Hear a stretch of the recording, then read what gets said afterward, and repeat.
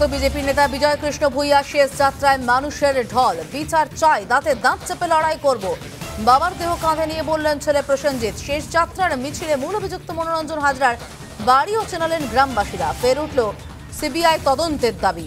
শেষকৃত্য সম্পন্ন হল বিজয় কৃষ্ণের কান্নায় ভেঙে পড়েছে পরিবার। সকালে নিহত বিজেপি নেতা শেষ যাত্রায় মানুষের ঢল এবং ইতিমধ্যেই শেষকৃত্য সম্পন্ন হয়েছে।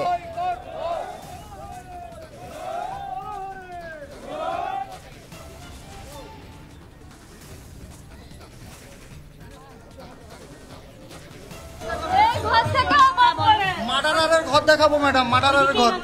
একদম ক্রিমিনাল মার্ডারারের আমি ঘর। জানি এই সময় হয়তো আপনার সঙ্গে কথা বলা উচিত নয় আপনি কাঁদ দিচ্ছেন। কিন্তু এখনও এই সময় দাঁড়িয়েও আজও justice we want justice so আমি দাঁতে দাঁত চেপে থাকব। কাঁদাকে আমি চেপে রাখব কিন্তু মার্ডারারের ঘর আপনাদের প্রকাশ্যে দেখাবো এই রাস্তায় পড়বে একদম।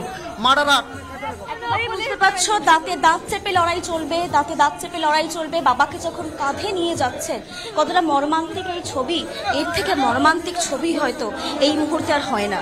এবং তুমি দেখতে পাচ্ছ, পরিবারের সদস্য যারা রয়েছে, তারা কান্নায় ভেঙে পড়ছে, আবার ছেলের চোয়াল হয়তো কোথাও গিয়ে শক্ত হচ্ছে, যাতে কোনোভাবে যেন এই লড়াই থেমে না যায়। এবং অভিযুক্তের তালিকায় তেত্রিশ। তাদের মধ্যে একজন মাত্র গ্রেফতার হয়েছেন। ঘর।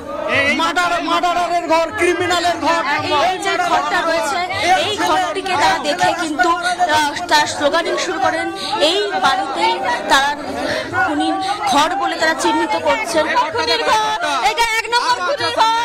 আমি বিজয় ভার্মা এক নম্বর খুনির ঘর এক নম্বর খুনির ঘর এটা এক নম্বর খুনির ঘর খুনির ঘর এটা এটা কার ঘর? আর ঘর এটা? আর ঘর এটা? মধুসূদন সাহের ঘর মধুসূদন এক নম্বর খুনি আমার বাবার এক নম্বর খুনি ওটাই। মধুসূদন সাহ আমার বাবার এক নম্বর খুনি। আপনারা যখন যাচ্ছেন সেই সময় বিভিন্ন বাড়িগুলো পড়ছে আপনারা বলছেন এই বাড়িতে এসে অভিযুক্তরা রয়েছে। সব বাড়িতে দেখছি তালা বন্ধ কেউ নেই বাড়িতে। ওরা জানে ওরা দোষ করেছে। ওরা জানে ওরা দোষ করেছে তাই ওরা বাড়ি ছেড়ে চলে গেছে। ওরা জানে অন্যায় করেছে ওরা একজন এই ঘর ওই মানুষকে পার্টিকুলার ঘর আইডেন্টিফাই করছি মানে সত্যিকারে মার্ডারার সত্যিকারে মার্ডারার ওরা। তাই ওরা ভয়ে পালিয়ে গেছে। ওরা জানে। ম্যাডাম। চোখ থেকে জল না ফেলানোর চেষ্টা করব কিন্তু মার্ডারারদের প্রকাশ্যে আনতেই হবে। আমি আমি একবার জিজ্ঞেস করব এখনও এখনও আস্থা আছে? এখনও আস্থা আছে পুলিশের উপর? পুলিশের উপরে আস্থা নেই ম্যাডাম। সিবিআই এর উপরে সম্পূর্ণ আস্থা আছে যদি সিবিআই হাইকোর্টকে জানাবেন পরবর্তীকালে হাইকোর্টে? মহামান্য আদালতের দৃষ্টি আকর্ষণ তো অবশ্যই করাবো। আমাদের অ্যাডভোকেটদের মাধ্যমেই তো বলব যে মার্ডারারদের উপযুক্ত শাস্তির ব্যবস্থা করা হোক। সিবিআই মাধ্যমে, সিবিআই দাবির মাধ্যমে, সিবিআই দাবি, সিবিআই তদন্তের মাধ্যমে। আরও একবার জানিয়ে রাখতে চাইব যে ছবি দেখতে পাচ্ছেন নিঃসন্দেহে মর্মান্তিক একটা ছবি। ময়নায় নিহত বিজেপি নেতা বিজয় কৃষ্ণ ভূঁইয়া তার শেষকৃত্য ইতিমধ্যেই সম্পন্ন হয়েছে। কিন্তু সে শেষকৃত্য হওয়ার আগে আমাদের প্রতিনিধি পিঙ্কি সারাক্ষণ ছিলেন তাদের পরিবারের সঙ্গে এবং বারবার শেষ যাত্রায় মানুষের ঢল, যখন শেষ যাত্রায় ছিলেন বিজয় কৃষ্ণ ভূঁইয়ার সঙ্গে, তখন তারা ক্ষোভে ফুঁসছেন, তারা কান্নায় ভেঙে পড়ছেন, তারা রাগ দেখাচ্ছেন, তারা বারবার আঙুল তুলে সেই বাড়িগুলো দেখাচ্ছেন, যে বাড়িটাগুলো অভিযুক্তের বলে তারা দাবি করছেন। তাদের বক্তব্য, অভিযুক্তদের ক্ষেত্রে কোনো ব্যবস্থা নেয়নি পুলিশ।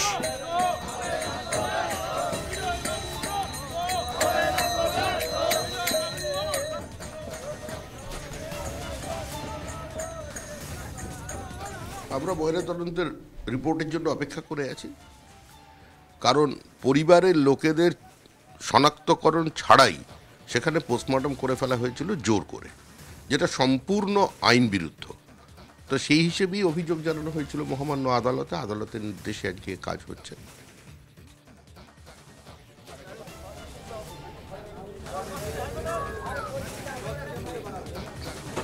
ভারতীয় জনতা পার্টির কর্মীদের উপর হামলা নতুন কিছু নয়। গত বারো বছর ধরে এটা চলছে। গত দু বছর এটা তার চরম সীমায় গিয়ে পৌঁছেছে। হ্যাঁ অতএব ইটস নাথিং নিউ কিন্তু মনে রাখবেন, অত্যাচারী শেষ কথা বলে না, শেষ কথা বলে জনগণ। অত্যাচারিতরাই শেষ কথা বলে, শেষ ইতিহাসের লেখাটা তাদের হাত দিয়েই লেখা হয়।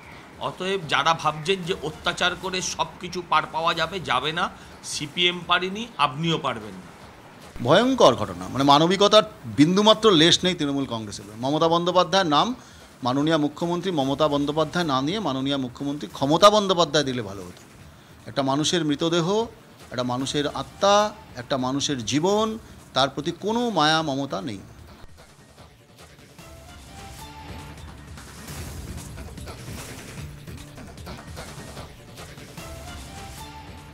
এটা তো ঘটছে আজকে না হয় একটা রাজনৈতিক দিক থেকে বিষয়টা দেখা হচ্ছে, কিন্তু সারা পশ্চিমবঙ্গ জুড়ে বিভিন্ন সময় গত বারো বছর ধরেই বিরোধী দলের বিভিন্ন মানুষজন তাদের হয় মেরে ফেলা হচ্ছে, খুন করা হচ্ছে। অথবা তাদের ওপর আক্রমণ চালানো হচ্ছে। এখন যেহেতু তৃণমূল কংগ্রেসের সমস্ত দুর্নীতি বাইরে আসছে, তাই জন্য ওরা আরও বেশিভাবে বিরোধী দলগুলোর ওপর আক্রমণ চালাচ্ছে।